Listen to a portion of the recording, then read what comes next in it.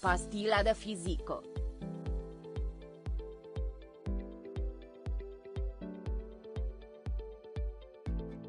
Căldura latentă.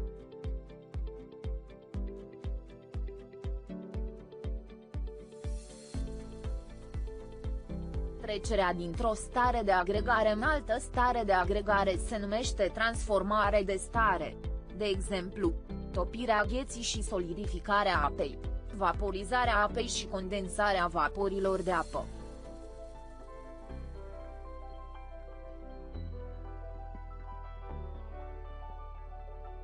Căldura necesară unității de masă dintr-o substanță pentru a trece dintr-o stare de agregare în alta se numește căldură latentă.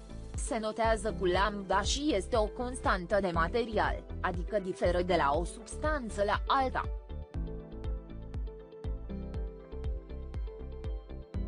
Căldura latentă este egală cu raportul dintre căldura primită sau cedată Q și masa corpului M care suferă transformarea de stare. Unitatea de măsură a căldurii latente în Sistemul Internațional de Unități este Joule pe kilogram.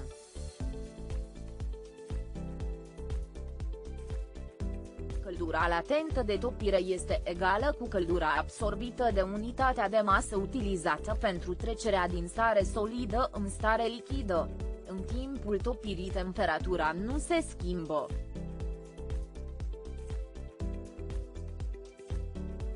Căldura latentă de vaporizare este egală cu căldura absorbită de unitatea de masă utilizată pentru trecerea din stare lichidă în stare gazoasă.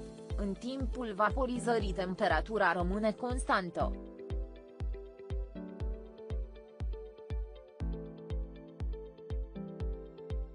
reprezintă grafic căldura absorbită de un corp în funcție de temperatura corpului la trecerea acestuia din stare solidă în stare gazoasă, ține cont de fenomenele de topire și vaporizare.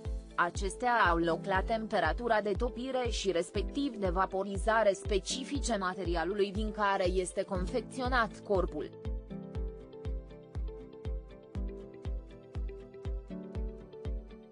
Iată cum arată graficul căldurii absorbite de corp în funcție de temperatură. Încălzirea corpului solid până la punctul de topire. Topirea propriu-zisă, adică trecerea în stare lichidă. Încălzirea lichidului până la punctul de fierbere. Vaporizarea propriu-zisă și trecerea în stare de vapori. În timpul topirii și al vaporizării temperatura rămâne constantă.